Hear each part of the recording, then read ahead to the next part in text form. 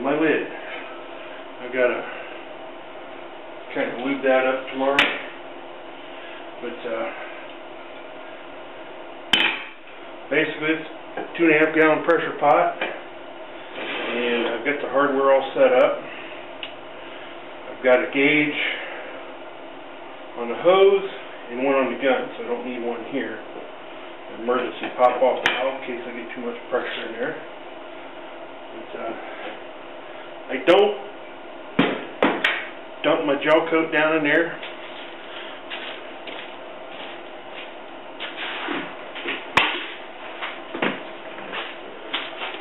What I do is got a source for plastic buckets. I put the gel coat in there, put that down in there, put this in, pressurize it.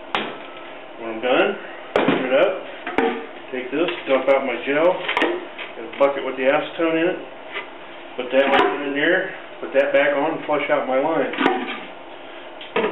But I've got to do some, I've got to check out my hose and get my gun ready. While I'm at this, I want to show you something else.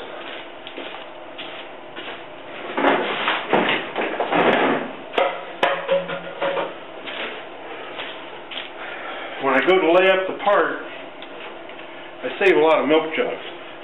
So I do I cut out a section of it, and then I can use them like this, fill about that much with resin. So I got about half a gallon in here. Mix it up, and then I just pour it in where I need it. These are cheap. Real cheap. Beats, uh, beats cleaning out a can or something like that.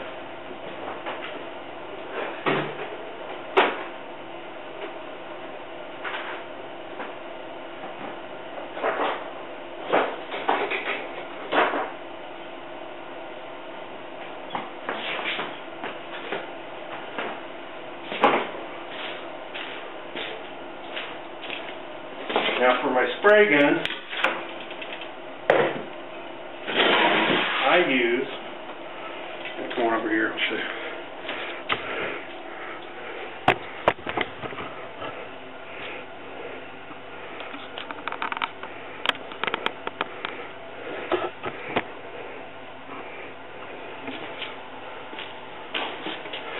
I use a Binks Model 18. This one's kind of old rebuilt that I don't know how many times, but it's got a uh, 68 PB cap. Yeah, just like I cleaned it. Now that thing's been used probably over 25 years, so that ain't too bad a shape. This one's the one I want to use soon. It's actually never been used. That's a Binks Model 18. They don't make them anymore. This one's got a uh, 63 PB cap. Yeah, that should work. I've got other caps and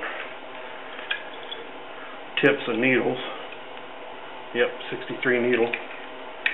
But I bought that eBay. yeah, I've only, I don't see them that often, but I probably picked up two or three like this for about 25 bucks a piece. And this one, this new one, I ran that all the way up to 165 because I really wanted that gun. Anyway, I don't know what I don't know what the new the modern equivalent of that is, but if you could tell me, that'd be great because there's only so many of these guns out there. I'd like to get something new.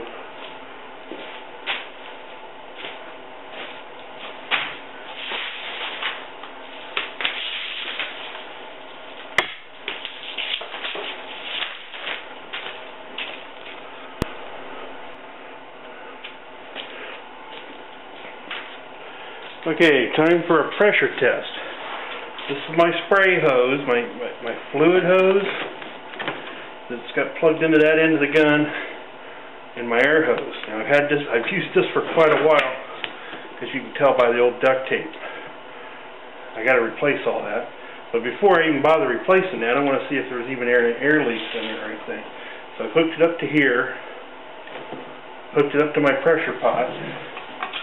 Now what I'll do is I'll go ahead and charge the pot.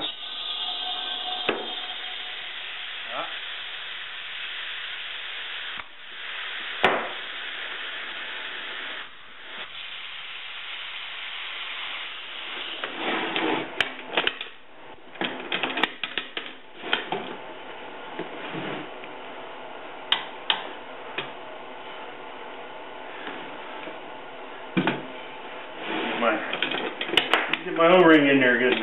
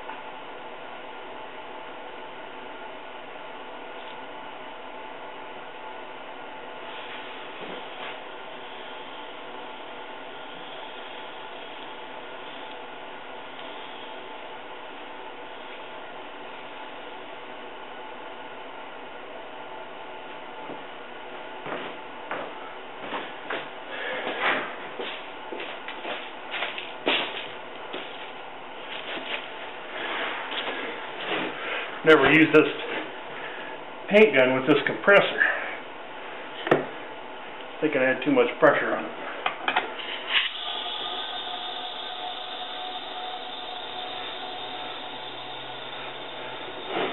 Here we go.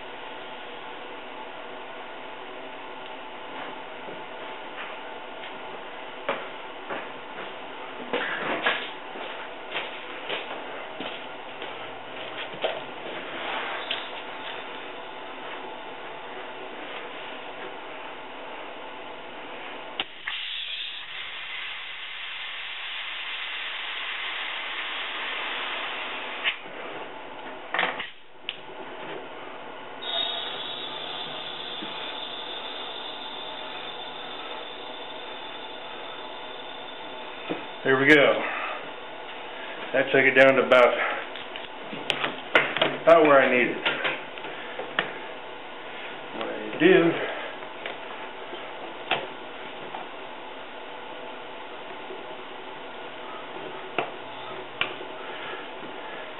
that's for my breakup air. Plugs into here.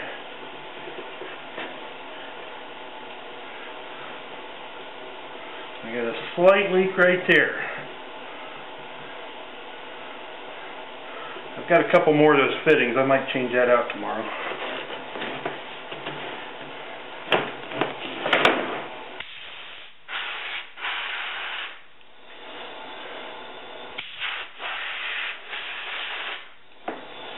So I'll do is I'll go ahead and get this gun cleaned up tonight. I'll stretch this out, take all my ancient duct tape off, change that fitting out, get my regulator set up for on here.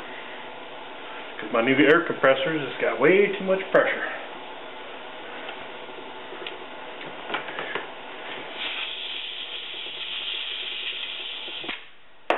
And then we'll be in business.